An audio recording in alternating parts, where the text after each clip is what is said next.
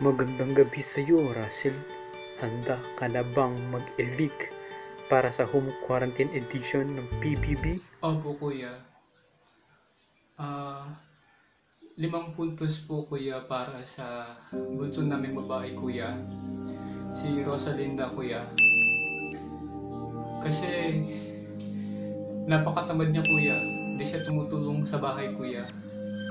Hindi po siya lumalabas sa kwarto niya. Nag-room quarantine po siya, kuya. Hindi po siya nagugas ng plato. Lagi pong tulog. At lagi po nagpapayak ng mga bata, kuya.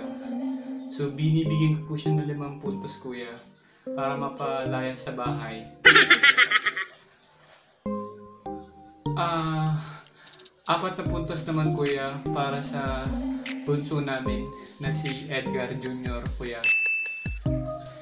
Kasi, hindi siya kumakain ng sardinas, kuya. Eh, yun lang yung pagkain namin, kuya.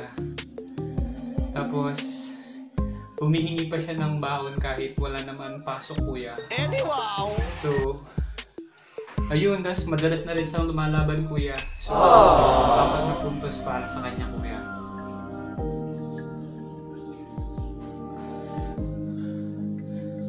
Tatlong puntos naman, kuya, para sa mga pamangkin ko na sina Lance at Digong, kuya. Tinigor po sila ng ref namin. Kaya wala naman kaming stock. Ginagawa nilang sari-sari store. Paano masabi? Yun, pati tubig kuya, doon nila pinapatawad. So, tatlong puntos para sa kanila kuya. And, puntos naman kuya para sa aso namin, na si Boy. Ang arte niya kuya, di siya kumakain ng relief good.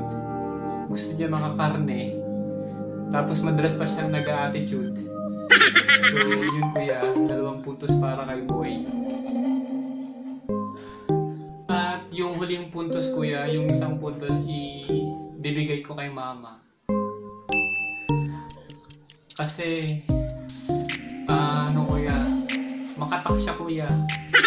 Yung home quarantine pero parang laging nasa simbahan. Palaging may misa kuya. So, ayun. Tapos, ah, lalabas lang siya ng pinto kuya, alcohol agad kuya. Maubos yung stock namin. So, yun lang yung mga gusto kong maibig sa bahay ko.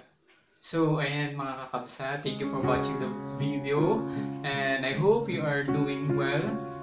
And take care as always and don't forget to subscribe and leave a comment if you would like.